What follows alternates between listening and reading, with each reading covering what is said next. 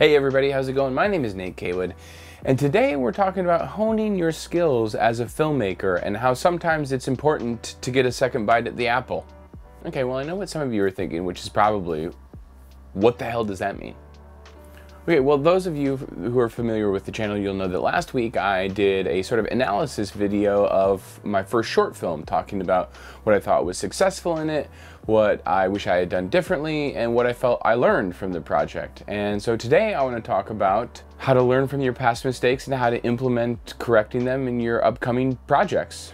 So just to remind you what I'm talking about, here is a quick little snippet from my first short film ever. How are you? Great. Great. And now for the bad news. Why? You got a zero out of five stars on your review, Mark. What? How's that possible? Every employer fills out an online review about each temp they have. It's based on a five star scale rating. They didn't want to have you back because he's too skinny and he's got limp arms. What? They wrote that? His face is a bit moly. What? Looks like a sexual offender. They really wrote that? I added the last part. You think it's funny? Old joke. eh? It's not funny. Okay, right. Thank you for that. And this is the video that I'd like to talk about today, my first spec commercial. It goes a little something like this. Fantastic job in shipping, Ted. Switching to FedEx was inspired. But FedEx.com makes shipping so simple, now you're overqualified and I have to let you go. Oh. Dwayne, sorry, but you're overqualified. FedEx.com makes shipping so simple, it's too simple for you. You're fired. Cool. FedEx.com is too easy. You're overqualified. I gotta let you go.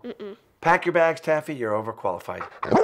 You got two weeks. We're gonna miss you, buddy. No shipping company is easier to use. Okay, first off, let's talk about what a spec commercial is. It's basically your visual resume to present to producers, financiers, brands, clients, agencies, all that sort of stuff. You're like, here, I shot stuff on my own, so you know that I can do this job. Just to have full transparency, I did not write this commercial, okay? I'm very lucky and I have a friend here in Los Angeles who's a commercial producer who ended up introducing me to a friend of his who is a copywriter for an ad agency who essentially let me have this script from sort of his old backlog of commercials that never got made. So I'm very grateful to him and to Corey. Thank you for uh, hooking me up. So why am I talking about this today and why am I showing you these two projects back to back? The reason is because you just don't have to reinvent the wheel every time that you shoot a project. I ended up shooting this spec FedEx commercial about six months after I shot that short film. And in the video last week, I said one of the things that I would have done differently if I reshot my short film would be to, the first thing that I would do is since this is a comedy, I would edit it to be paced up faster. Well, I can't really say that about the FedEx commercial because I cut it to play really, really fast which makes sense for a commercial because you only have a short period of time to capture people's attention. And so it has to be fast and it has to be funny. Okay, so now we're getting to the meat of what I wanted to talk about today. If you watch both of these projects back to back, you will see that the color palette is similar. You will see that the framing is similar. You will see that the coverage, composition, angles, and lensing are all really similar.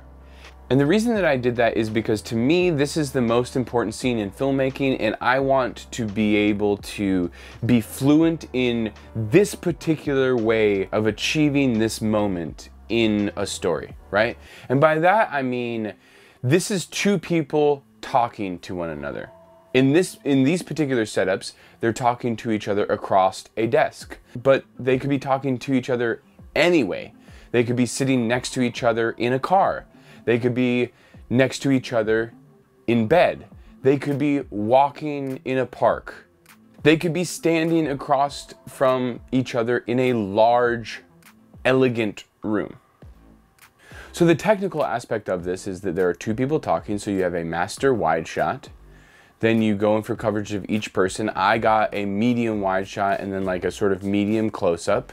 So there's two reasons why I chose to do the lensing and the composition this way. One is that I found when you put the camera for the coverage inside of the conversation, you're not doing over the shoulders, you're not seeing like a dirty person talking this way and then I'm talking this way. Like you're not seeing a person in the, in the frame. I think that helps for comedy because it allows you to not have to worry about the other character's continuity, about where they're moving. It's all about time timing. So if you don't have the other character in, you don't have to worry about their face being tilted or them saying something, or you never have to match. If you're just focused on the one person saying the thing, it can just be um, bop, bop, bop, bop, bop, bop, bop, bop, and you can make it really fast in the edit. The other reason is that the filmmakers that I really aspired to at the time shoot this way. The Coen brothers, Wes Anderson, Janicza Bravo. Yorgos Lanthimos shoots this way a lot. And there's a reason for that. There's something inherently uh, funny and absurd about using wide lenses and getting close to characters. It distorts their face. And so I wanted to replicate that. I wanted to understand the practicalities of that. I wanted to understand why you make those choices as a filmmaker. And I felt like in my first short film, even though I attempted to do it, I didn't get it right. And so instead of just moving on to the next thing to be like, okay, well, how do I do an interesting tracking shot? Or should I do a dolly rake across these? Or like, oh, should I drop the camera into the two shot? Or I was like, no, I want to focus on accomplishing the thing that I set out to do and make sure that I do it right and understand the inner workings of how these angles, how this setup, how this blocking works in a scene. And I think I was able to achieve that. After doing these two projects, I feel comfortable saying that I understand some of the frameworks of the technical aspect of framing, lensing, blocking, and directing a two-person comedic scene. Some of those things that I learned is pacing is super important. If you have the ability to only have one of your characters in the coverage, it allows you to manipulate the pacing and post a lot more. Another thing is that comedy plays in a wide shot, right? That's a really old known thing in the film industry because the characters can make bigger movements. You know, all of the physical comedians from the silent era, they shot everything super wide so you could see their entire bodies. The whole bit is usually based around them doing something physically. So the more physical the comedy is, the further away or wider you usually want to be. I think another really important thing is about movement in in the camera is that for these particular setups and this type of scene that I was trying to achieve is that the camera shouldn't probably be moving that much, uh, if at all, because it allows the audience to understand how the universe works and you can get really quickly you can see what the frame is you can see the office you can see where they're at you get it right? Anything that allows an audience to be like trying to play catch up or learn what's going on in the frame distracts from the opportunity to set up what's being funny about it. So the sooner that you can get the audience on the same page with you like this is an office. It's like a beige office. Great here's a guy talking we're all on the same page, right? As opposed to like, ooh, we're dollying across some pencils and a desk, and then a guy's talking like voiceover, and then we tilt up and it's a human being, but where are we at? Who's he talking to? I don't know. There's so many questions, and that doesn't help with comedy. It helps with drama, but it's not going to help you that much in comedy. Of course, there are exceptions to every rule. I'm speaking in generalities, but if you as a filmmaker focus on the way that you want to tell a scene, and you keep trying to drill down and, and really focus and hone in on what makes this scene work for you as a filmmaker, you're doing a couple things. You're finding your voice and what you think is important to tell the audience, and you're also discovering a leaner, better way of telling story. And I, and I would argue that if you can direct a good dialogue scene, then you're well on your way to be becoming a great filmmaker because most most scenes are people talking to each other.